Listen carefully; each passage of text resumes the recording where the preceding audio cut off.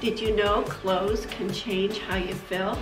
They can transform your mornings with a boost of confidence, even on those days that it feels elusive the moment you wake up. Discover the power of clothing to influence your mood and set the positive tone for your day.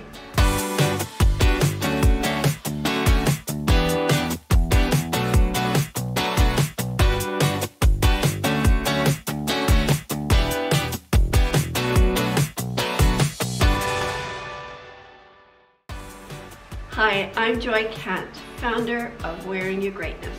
Did you know clothes can change how you feel? They can transform your mornings with a boost of confidence, even on those days that it feels elusive the moment you wake up. Discover the power of clothing to influence your mood and set the positive tone for your day. You do this by understanding three design lines, and they are the silhouette, horizontal lines, and vertical design lines. In fact, when strategically put together, magic happens. I'm having my assistant Mary model outfits that I see at the Macy's store in Roseville, California.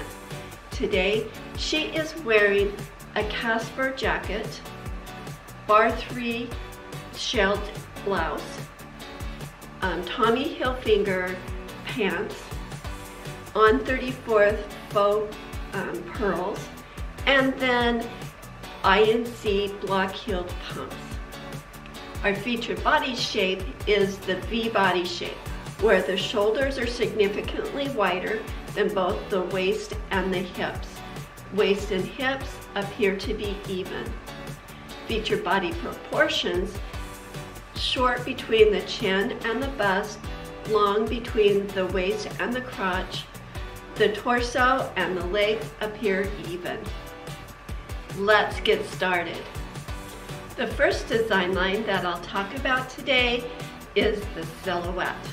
It's the outside line of an outfit. It's the difference between the shoulders and the waist, waist and hips, hips and shoulders. It comes in two categories, angular and curved.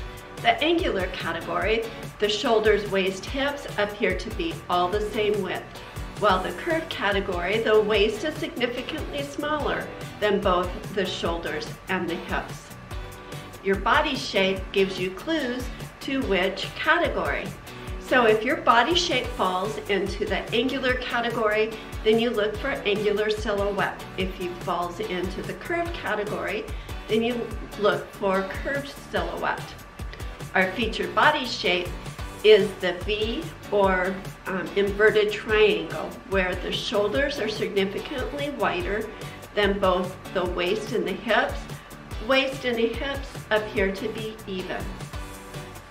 This body shape falls directly into the angular silhouette. So let's look at this outfit. And the best way to do that is to look at the side seam. When you look at this side seam, it does go in a little bit to the in the side, as you can tell there.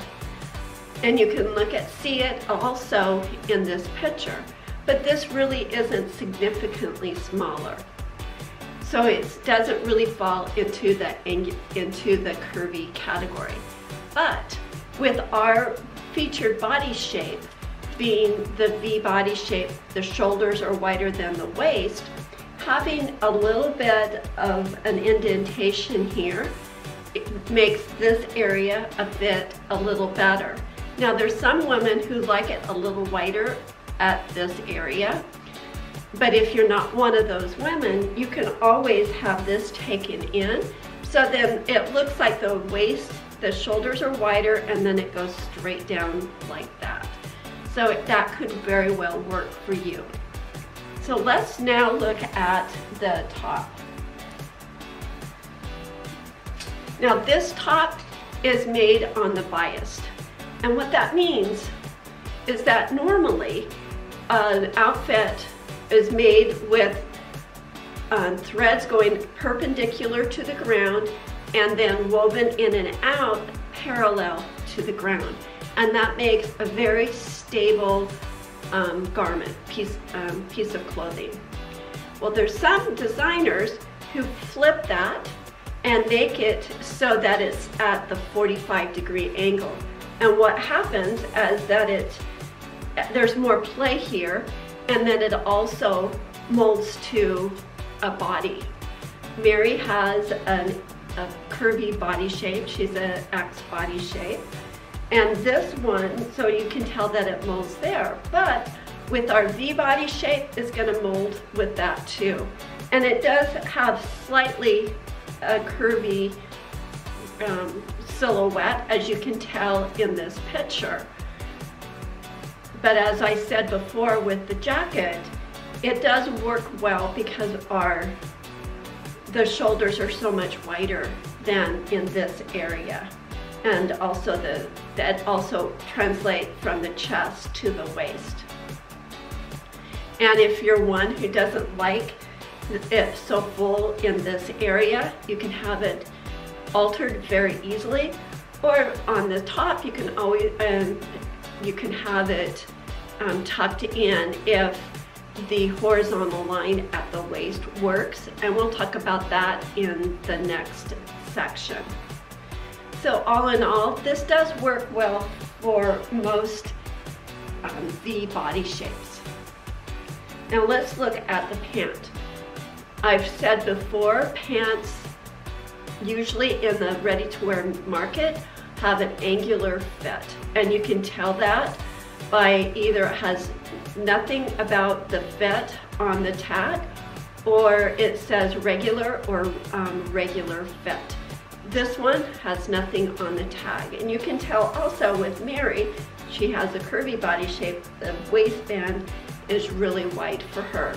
And you can also tell by hanging it on a hanger that you can, in this picture, you can see that the waist and the hips appear to be the same width. So this outfit, curvy, the silhouette works well for her. The next design line that we'll talk about are horizontal lines.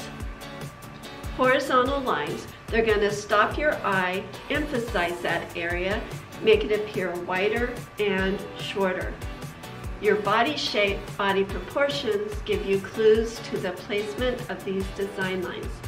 For body shape, you want to avoid them in your wider areas because it's going to make those areas appear even wider and it brings emphasis to those areas. But you do want them in your thinner areas because it's going to bring emphasis to those areas and make them appear wider. Our featured body shape is the V or inverted triangle, where the shoulders are significantly wider than the waist and the hips. Waist and hips appear to be even. So let's look at this outfit to determine the placement of horizontal lines. And how you do that is where does your eye stop?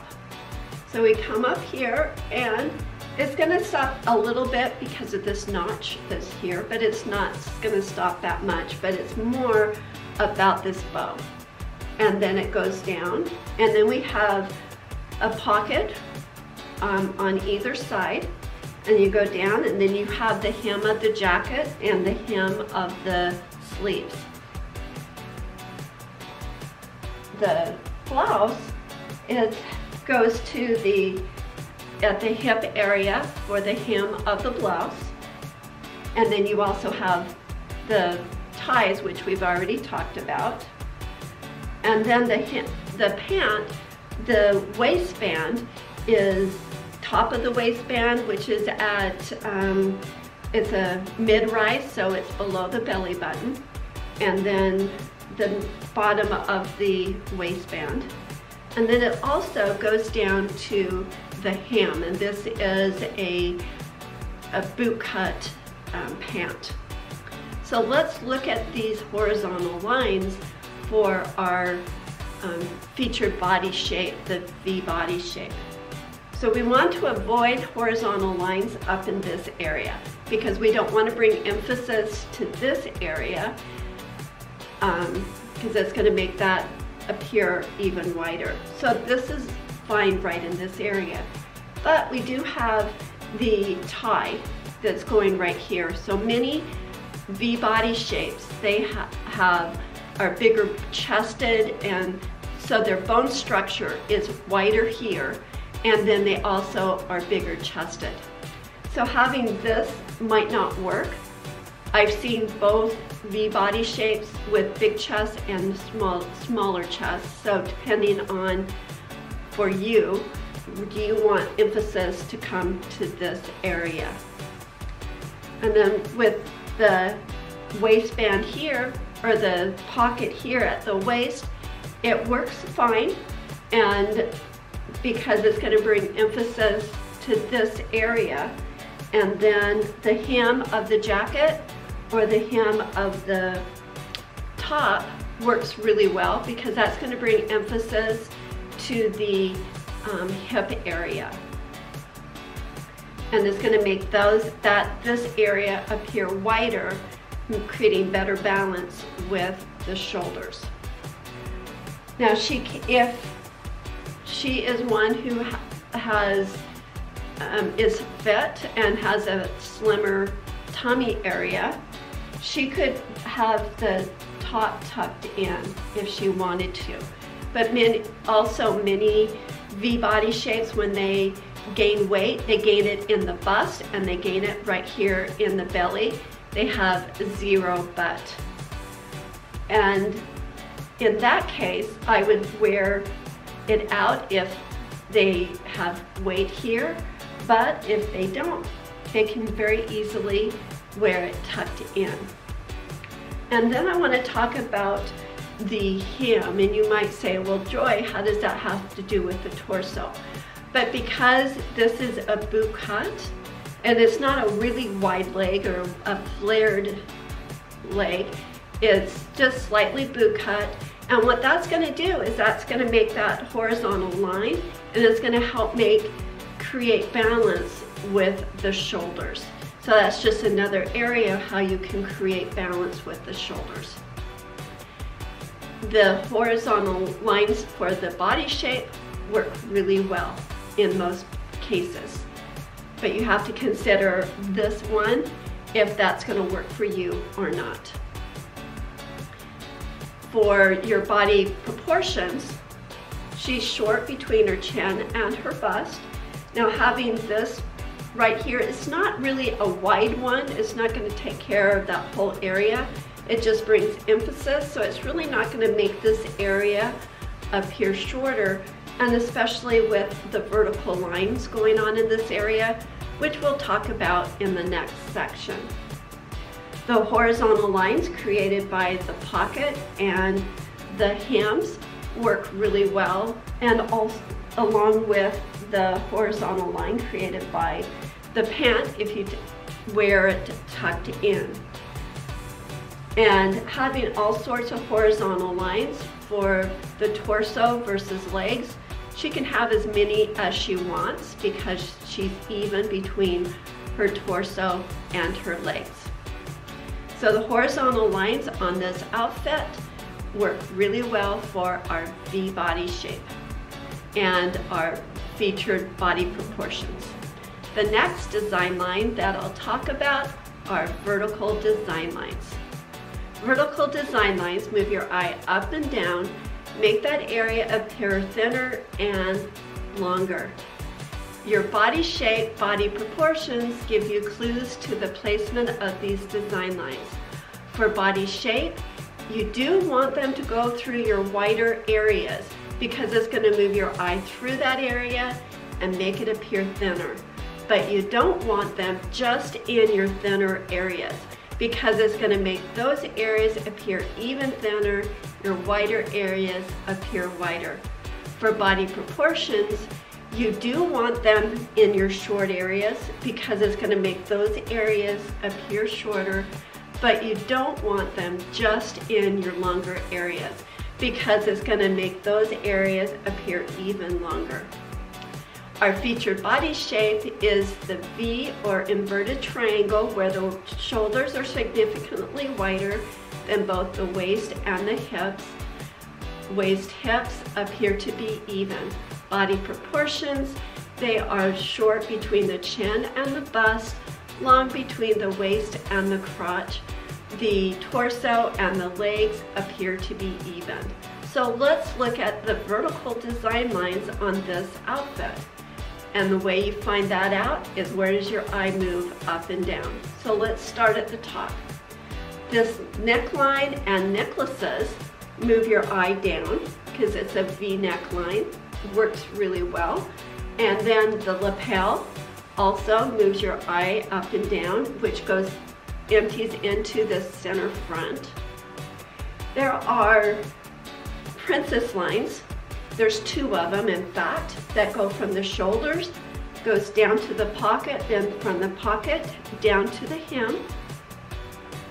And this also goes into the back. The tie could also be a vertical line if you chose to wear it that way. So you can also have a vertical line there, but I chose to style it with the bow.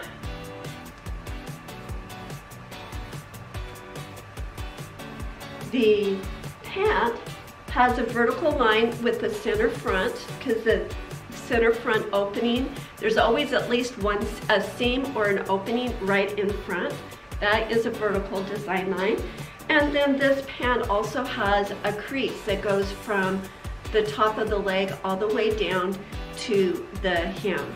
So let's look at these vertical design lines for our body shape, our V body shape. Having vertical design lines up in the shoulder area is perfect, especially with the lapel and the two seams for the princess line because it's going to make the shoulder area appear thinner and it moves your eye away from that area. So you have multiple vertical design lines on this jacket. That is perfect for our V body shape. Having the vertical lines that go from all the way the shoulder, all the way down, that helps really move the eye away from this area. But it's not just in your thinner area, so it works really well. And then having these other vertical lines in this area is gonna help make that area appear short, thinner, and not this area appearing thinner also. The tie can also be that vertical design line. Now, if you are one of the people with a V body shape who are really big busted, you can take the emphasis away from your bust by having a vertical line just like this the pants center front, since you're not really, it's not being shown, it works well.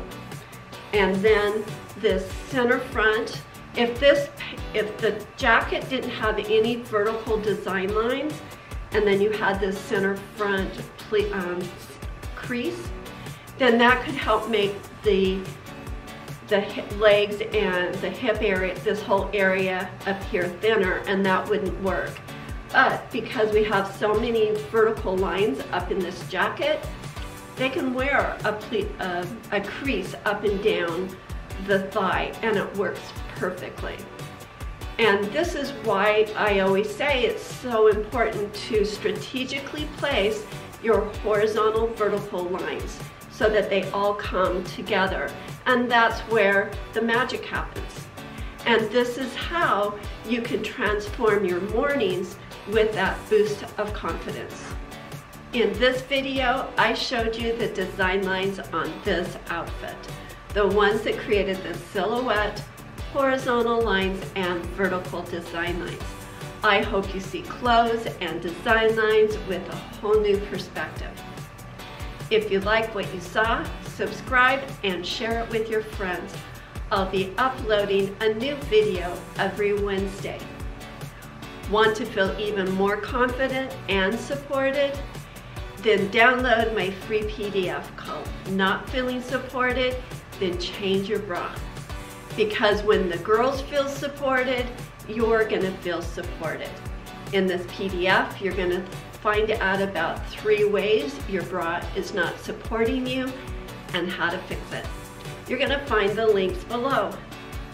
So why is it important to understand design lines? Because clothes change how you feel.